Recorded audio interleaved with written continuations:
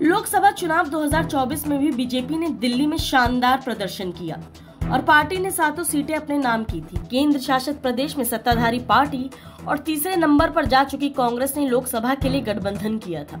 लेकिन उस गठबंधन के बावजूद विपक्ष को फ़ायदा नहीं हुआ है। अब जब आम आदमी पार्टी ने ऐलान कर दिया है कि वह दिल्ली में अकेले चुनाव लड़ेगी तो उसके बाद से कांग्रेस अपनी तैयारियों में जुटी हुई है। कांग्रेस ने दिल्ली के चुनाव नतीजों पर विश्लेषण करने के बाद संगठनात्मक स्तर पर काफ़ी अहम कदम उठा रहा है। पार्टी दो दर्जन से ज़्यादा सीटों पर नज़र बनाए हुए है। कांग्रेस को उम्मीद है कि यहाँ उसका लोकसभा चुनाव के दौरान प्रदर्शन अच्छा रहा है।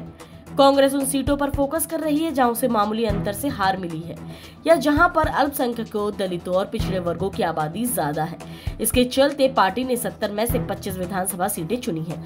माना जा रहा है विधानसभा चुनावों से काफ़ी पहले इन सभी सीटों के लिए पार्टी अपने प्रत्याशी घोषित कर सकती है, या चुनावों की घोषणा के बाद उम्मीदवारों की घोषणा करने की पार्टी की पारंपरिक रणनीति से अलग है कांग्रेस पार्टी के सूत्रों के मुताबिक चार जून को परिणाम घोषित होने के बाद से दिल्ली कांग्रेस अध्यक्ष देवेंद्र यादव ने शहर में पार्टी संगठन को मौजूदा स्थिति का आकलन करने के लिए कई बैठकें की हैं। इस मामले में एक वरिष्ठ कांग्रेस नेता ने कहा कि मौजूदा राजनीतिक परिस्थितियों को देखते हुए हर सीट का विधानसभा स्तर पर पार्टी के लिए उतनी ही महत्वपूर्ण है जितना कि राष्ट्र स्तर पर।